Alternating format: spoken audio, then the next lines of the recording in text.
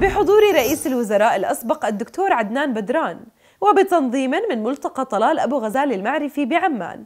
رعى الدكتور طلال أبو غزالة وبالتعاون مع المركز الأردني لبحوث التعايش الديني حفلا موسيقيا بعنوان ميلاد مجيد يا أردن. أحيته جوقة ينبوع المحبة. وقد حضر الأمسية التي تخللتها ترانيم ميلادية ومقطوعات شرقية عدد من الأساقفة والأباء الكهنة. والدكتورة باسمة السمعان مديرة مكتب نورسات الأردن. وجمع من الشخصيات الرسمية والدينية والمجتمعية. وقد أجمع المتحدثون في كلماتهم أن هذه المناسبة التي تتزامن مع احتفالات الوطني بموسم الأعياد المجيدة ورأس السنة الميلادية تجسد العيش المشترك بين أبناء الشعب الأردني الواحد حيث أننا في الأردن مسلمين ومسيحيين نشعر بالفخر بقيادتنا الهاشمية الحكيمة ليظل هذا الوطن عزيزا متلاحما ينشد الخير والمحبة والسلام. بدي أشكر أبونا نبيل حداد لأنه هو صاحب الفضل وهو الذي قام بكل الترتيبات لهذا اليوم المجيد الذي احتفلنا فيه تحت شعار عيد مجيد يا أردن.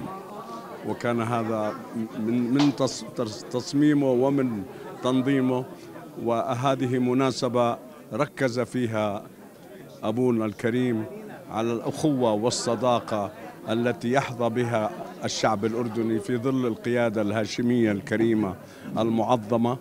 نحن سعداء بأننا هنا عائلة. ليس هنالك ما يميز بيننا إلا المنافسة في المحبة.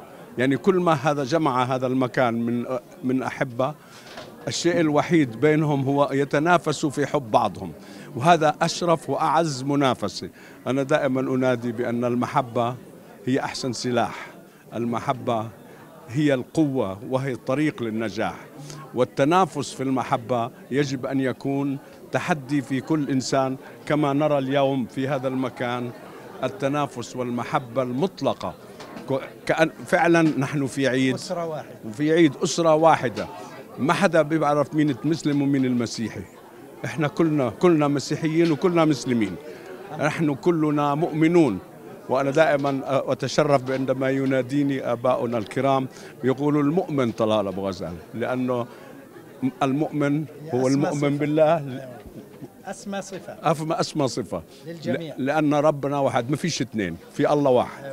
ونحن كلنا عباده. فأنا سعيد بأن هذا اليوم بالنسبة لي يشكل فرحة لا توصف. نحن كم بحاجة إلى أن نبقى نحن معا نتعلم من هذه القامات الكبيرة شروى لحيتك الطيبة. نحن سعداء أننا نطل على مغارة بيت لحم بهذه الروح روح المودة وهي مناسبة أن أهنئ سعادة أخي الكبير.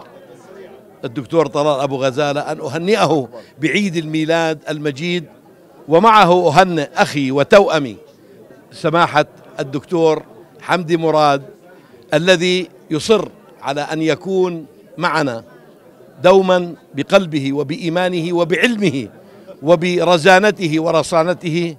نحن هنا في موقف أنا أرجوكم أن تسمحوا لي.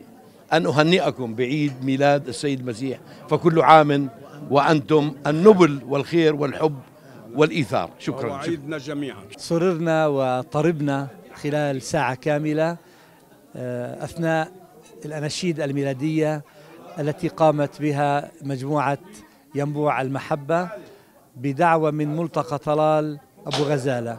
أريد أن أشكر الدكتور طلال أبو غزالة لهذا الانفتاح وهذا التآخي الذي أظهره هذه الليلة من خلال استقبال هذا الحفل المسائي بعنوان ميلاد مجيد يا أردن بالفعل نحن نشعر نحن المسيحيين بأن أعيادنا هي أعياد أردنية كما نعتبر أن الأعياد الإسلامية هي أيضا أعيادنا لأننا كلنا أخوة في الإنسانية. كل سنة وأنتم سالمين. اليوم نحن موجودين لنقدم حفل آه، جديد. حفل الميلاد آه، في الأردن. حفل آه، بيركز على العيش المشترك. حفل بيركز على علاقتنا كإخوة بالمجتمع في الأردن إن كان مسيحيين أو إسلام. حبينا نوصل كجوقة ينبوع المحبة رسالة جديدة اليوم. هالرسالة هي رسالة سلام رسالة محبة رسالة فرح.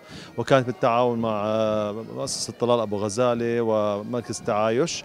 بنوجه لهم أيضا التحية وبنشكر قناة نوسات المرافقيتنا دائما وكل سنة وأنتم